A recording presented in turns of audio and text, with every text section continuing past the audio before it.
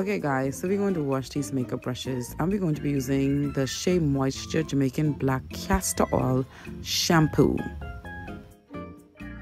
So this is the pink contraption I use to scrub my makeup brushes.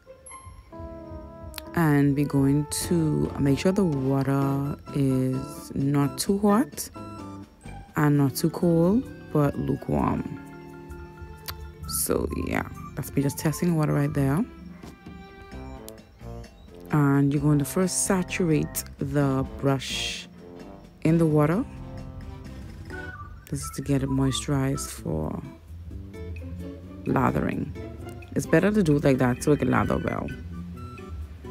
So I just put the shampoo around the brush edge and I scrub. Scrub scrub scrub scrub scrub scrub. Scrub a dub dub dub dub scrub I just flip the brush over and scrub and scrub and scrub.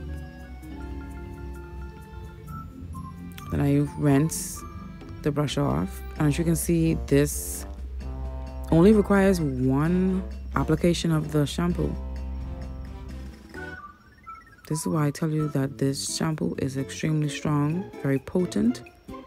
It cleanses your brushes clean so you don't need to be buying any makeup cleaner. You can just use the shampoo that's in your cabinet already.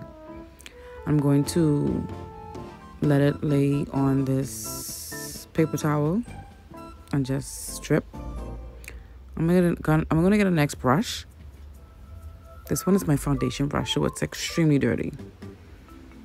So again, we're gonna saturate the brush in the lukewarm water and then apply the shampoo around the edge the perimeter and the top of it.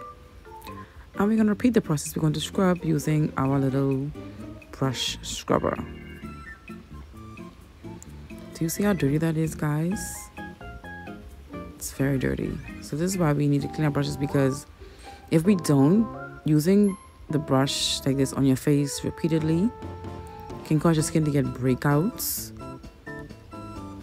and it also doesn't make the makeup apply very well. Now as you can see I only applied one application of the shampoo to this and the brush is already clean. Do you see that? That's awesome. So I'm just doing this here for good measure. I don't really need to do this, but I'm just doing it for good measure. Making sure it's squeaky clean. Draining it out. I'm resting on a paper towel again. I'm gonna do a smaller brush this time. Oh no, sponge, sorry, the sponge. Now the sponge would not need the brush cleaner, just the shampoo. And with the sponge, I'm not gonna scrub because it can possibly damage the sponge. So I'm just going to squeeze it in my hands to remove the makeup from the sponge. And you can see it's already cleaning all of the foundation and gunk, makeup gunk out of it. And I just squeeze it to get all of that out.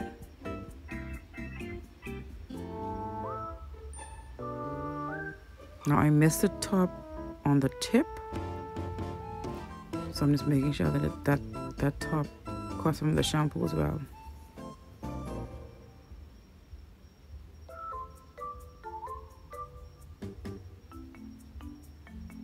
Clean.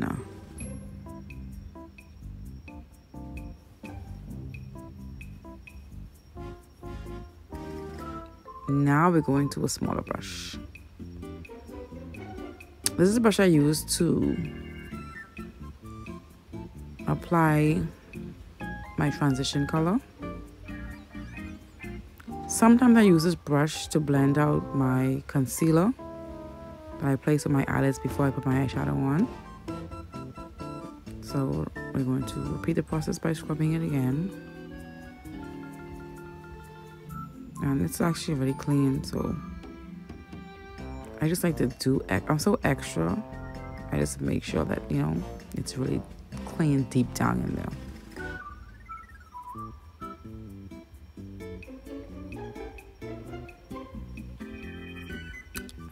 That's it for the brushes. I'll do the other ones off camera because it's the same process I repeat with all of the brushes.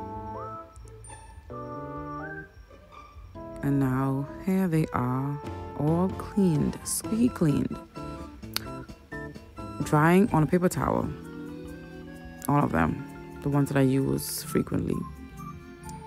And after I'm done with that, I would lay them on my bed and allow the fan to air dry them. But that's it. So thanks for watching my video, guys. Make sure you thumbs up this video and subscribe to my channel, guys. Thank you. Mwah.